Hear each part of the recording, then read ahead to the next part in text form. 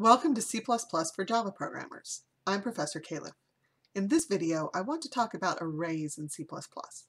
We'll only talk about statically allocated arrays today. We'll discuss how we might manage dynamically allocated arrays in a later video. Array declarations in C++ are somewhat similar to Java's, but the differences are important. We have the type, then the name of the array variable, and then square brackets containing the size, ending with a semicolon as always. Notice that the brackets and size must follow the array variable name in C++ always. So this creates an array of 10 integers named score. And this creates an array of num items doubles. Note that the size of the array must be a constant. We can't use a variable because the size of the array is actually determined at compile time. There are some important things to notice here. First, we don't use new. We're not doing something dynamic. Just as declaring an int variable gives me an integer variable to work with, declaring the score array gives me an array of 10 integers, all ready for use. If we leave out the size, we're going to get an error on modern compilers. Note that on older compilers, we could actually end up with an array with zero items. So don't leave out the size. This is particularly important because there's no way to change the size of the array. The only way to get a different size is to recompile the program.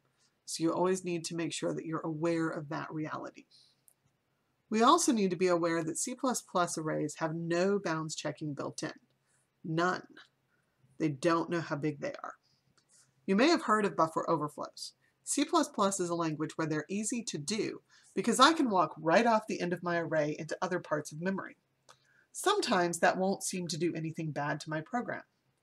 Sometimes it'll crash the program. Sometimes it'll create weird logic errors. The same program might do any of the above on different runs.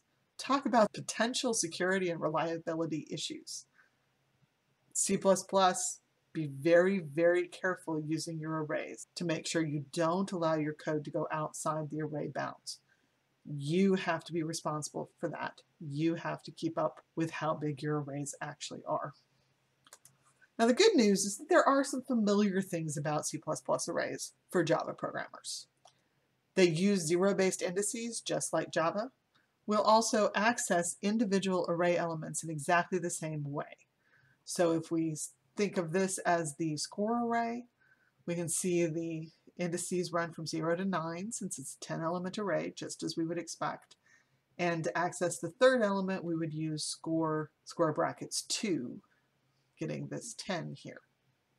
Let's talk about initializing arrays. The first thing to note is that arrays are not automatically initialized for you in C++. When we create the score array, we don't know what the values in it are. They're generally whatever was in memory where the array was created, just as is true with other local variables. We should also be aware that C++ doesn't necessarily warn us that we didn't initialize the variables, array or otherwise. Some compilers might, others won't. And any warnings will be just that, warnings, not errors.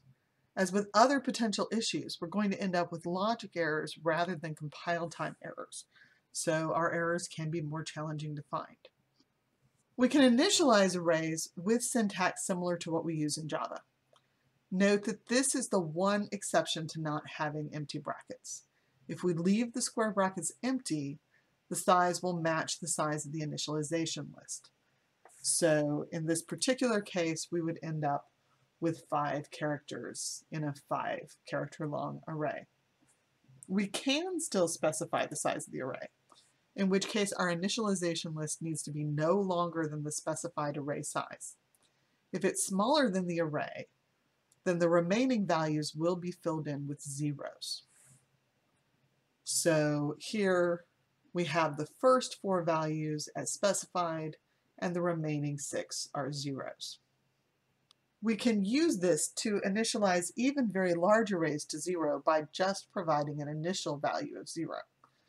So what happens is the first value gets the zero and the other 99 get the automatic zero because we initialized anything. So all 100 values are zero. But don't let this get confusing. Sometimes people will think that they can get away with this and have it initialize everything to 1 because it works for 0.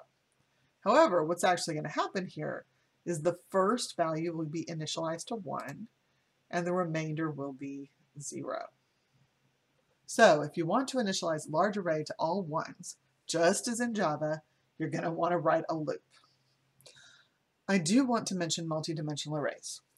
Like Java, C++ does not have multidimensional arrays at this point, though there is some discussion of adding them to the language in the next revision. However, also like Java, you can create arrays of arrays, and arrays of arrays of arrays, and so on. That will look like this. So matrix is a 3 by 4 array of integers, and AIR3D is a 10 by 10 by 10 array. Again, all of these values must be specified at compile time and won't change. So let's talk just a minute about arrays as parameters. Here's an example of a function header that accepts a one-dimensional array. We don't specify a length for the array. As long as the array has integers, we can pass it to this function if it's one dimension. Note that the num items is needed. In Java, we sometimes want to specify how many items we want to process, but if we're using the whole array all the time, we can rely on the array's length. In C++, the array doesn't know how big it is. We don't have anything that will tell us this is how long this array is. So we absolutely need the num items parameter to tell us how many items to process. Of course, we can also pass multidimensional arrays as parameters. In that case, we must specify every dimension but the first one. And notice that we can pass arrays of different sizes here, but their underlying structure has to be the same. Only the number of this largest dimension can change. Okay, let us go over and experiment with this just a little bit. I want to show off a few things. I've actually already set up a um, program, arraypractice.cpp. And so let me show you what I have here, and then we'll play with this a little bit. I especially want to show you some of the issues as far as buffer overflow and so forth. So um, we have our comment, we have our IO stream. I've set up two functions. Uh, the first one sets num items array values to all ones, so takes in the number of items to process and just sets them all to ones. And then one that prints out values, however many values you've specified. So those are pretty straightforward little uh, for loops. Then I've created three arrays in main. So the first one, they're all integer arrays to allow them us to work with them all more easily. First one, we have score, 10 items that I've initialized the first four items. Then we have this all initialized that didn't specify how many items, so we should have a six item array that goes 6, 5, 4, 3, 2, 1.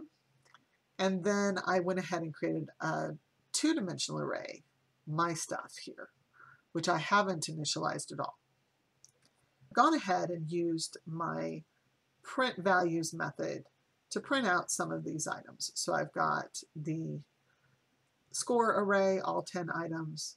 I've got the 10 items in the first row of my stuff and the 10 items in the second uh, row of my stuff note that um, I have to do this sort of one at a time. Obviously, I could have written a loop and printed the whole thing out. I didn't really want to print that much out. I, but we do have to pass a one-dimensional array as the parameter to the one-dimensional array here. Okay, so let's go ahead and make sure this is compiled and then run it. So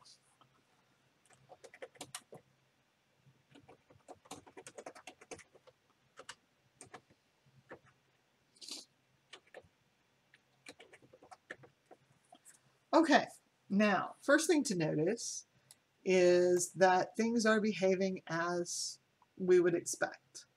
So we printed out the scores array. The first three, first four values are the four values we specified. The next six are the zeros that we were promised. Then we have my stuff. Notice we didn't initialize my stuff. And we have random data in my stuff. Um, interestingly enough, we did get a couple of zeros here. But the rest of it is just sort of other stuff. And as expected, all initialized is all there. Now I want to look so I want to see what is in all initialized, what we would get if we printed more of all initialized.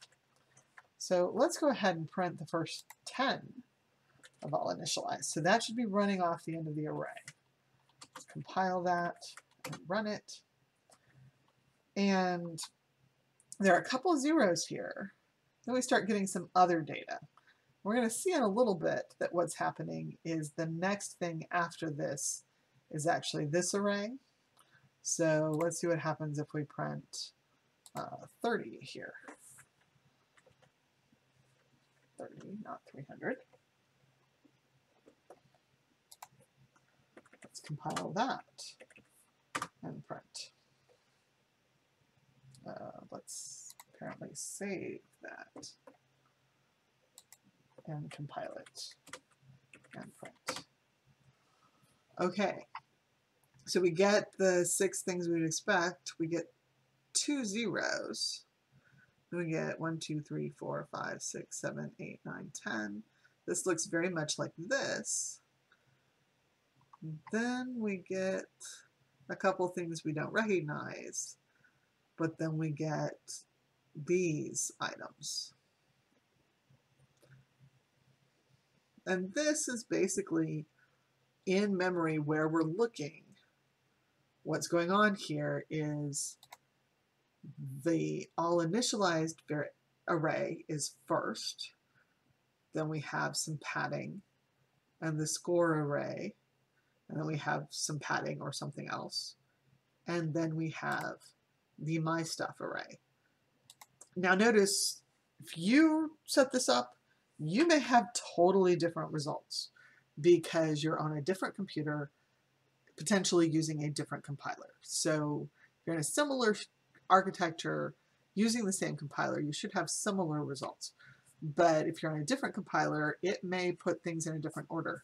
But notice that just because they're in this order in my code doesn't mean they're going to be in that order in memory. So that makes it more challenging to figure out what we wrote on top of if we went outside of memory.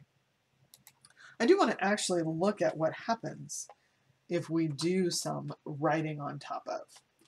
So let's go ahead and use this set error to ones method and I'm going to do 20 with score.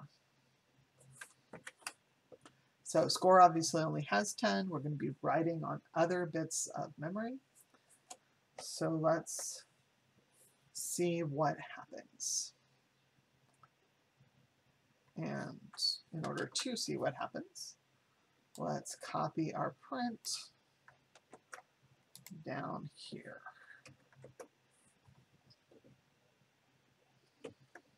Save that and compile and run. Now we see that the first row of uh, the, the scores array is all ones that the first row of our my stuff array is partly ones and then the rest of it is untouched starting with these zeros. And if we come here we'll see that if we look at the data from the all initialized array on, all initialized is the same, then we have the set of ones, including writing over those ones that were in the middle before, right? We had these zeros, then we had these other zeros, had these values, all of that has become ones. So this is why we don't want to go outside our bounds. In this particular case, all it did was show us where things are changing, but not uh, show us, it, eh, but didn't cause real problems. However, we were actually trying to do things with these arrays, if we cared what their values were, um, this would be an issue. And also don't forget, don't count on these being zeros. You're very used to that from Java. It's not true here. Okay, I encourage you to play with this some more, get on a computer, try some of these things out. Uh, make sure that what I've said matches what you're finding. Thanks for watching. In the next video, I'll be talking about strings in C++.